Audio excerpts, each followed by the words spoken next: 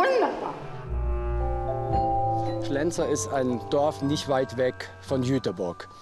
Als wir vor vier Jahren hierher gezogen sind, war Hedda Hopf die erste, die uns hier im Dorf in Empfang genommen hat und hat in ihrer offenen und freundlichen Art uns alles gezeigt, hat uns die Kirche aufgeschlossen und hierfür möchte ich mich ganz herzlich bei ihr bedanken. Hier im Pfarrhaus ist Hedda zum Kaffeetrinken eingeladen, damit sie von der ganzen Aktion nichts mitbekommt. Ich bin gespannt, was sie jetzt zu der ganzen Sache sagt.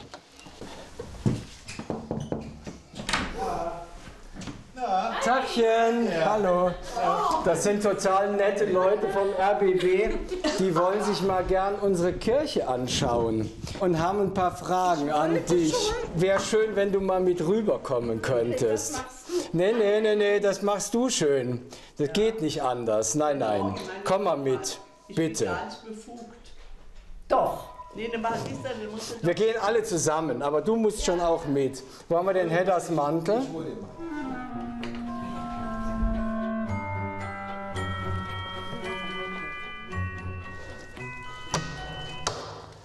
So, dann komm mal.